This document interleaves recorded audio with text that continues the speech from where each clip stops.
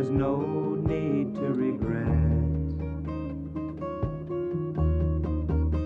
And though at times you feel